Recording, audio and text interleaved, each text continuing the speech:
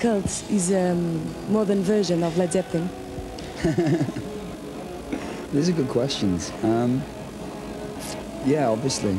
Um, strange thing is now, sort of, we're older than our influences. You know, a lot of lot of the bands that we really liked growing up were usually bands that recorded in the sort of like mid 20s.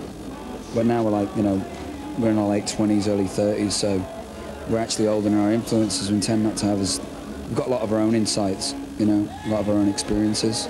So we have a lot to draw from. So in terms of being a rehash of another band, I, I think that there's obviously a lot more a lot more sincerity and depth in what we do than than just like trying to copy somebody else.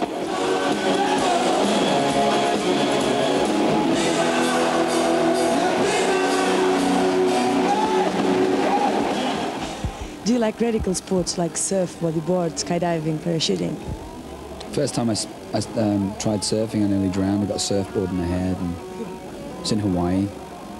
I got a dislocated shoulder, so I can't um, do that. I do martial arts, taekwondo, and play football. I run, you know, but box, do martial arts. But um, on the road, it's it's very difficult to keep up an exercise because you travel so much.